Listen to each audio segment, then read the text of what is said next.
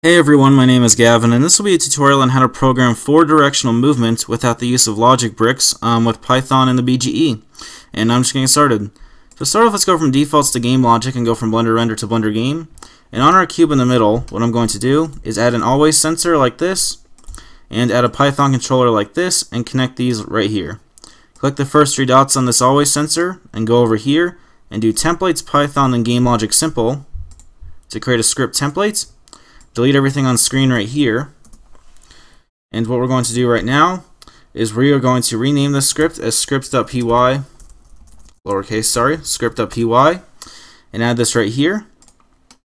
Next, what we're going to do is inside of our script, what I'm going to do now is define our keyboard. So let's do keyboard is going to equal bge.logic.keyboard.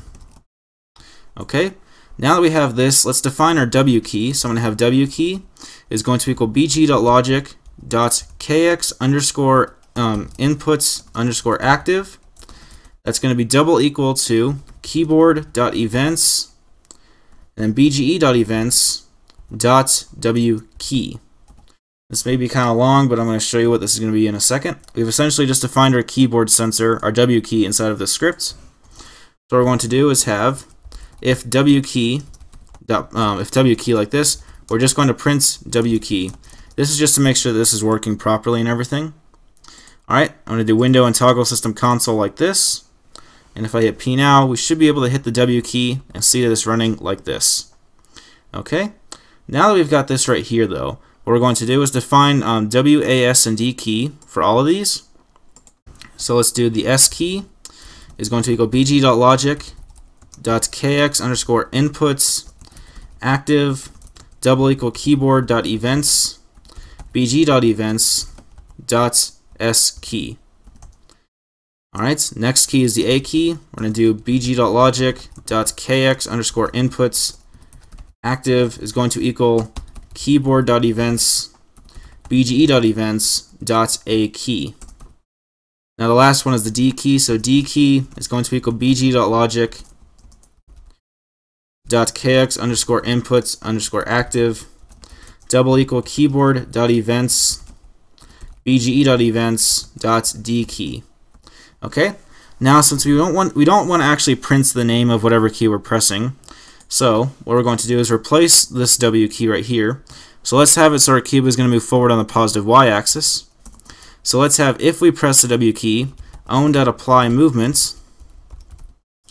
Then we're going to have um, it's like this, 0, comma 0 0.2, comma 0, then put the end bracket, and then put true after this, because we want this to be local movement. So, if we were to run this now, we should see I can move this cube forward by pressing the W key. If we want our cube to move backwards, let's have if S key. We're going to have own that apply movements. And we're going to have uh, 0 comma negative 0 points 2 uh, points 2 comma 0 then for local movement let's have true. If we want to move left let's have um, if a key at apply movements then we're going to have negative 0 points 2 on the x-axis 0 and 0 like this comma true. Alright then if we want to move right let's have if d key owned at apply movements. Alright, so then we're going to have 0 0.2, comma 0, comma 0, ends brackets true like this. So, I should be able to hit play and I can move this cube in all four directions by using our keyboard sensors that we've defined above. Alright everyone, so this has been a tutorial on how to add or how to program four directional movements without without the use of logic bricks with Python and the BGE. I hope you guys find this very useful. And here's the script just for one more second. Thanks for watching, everyone.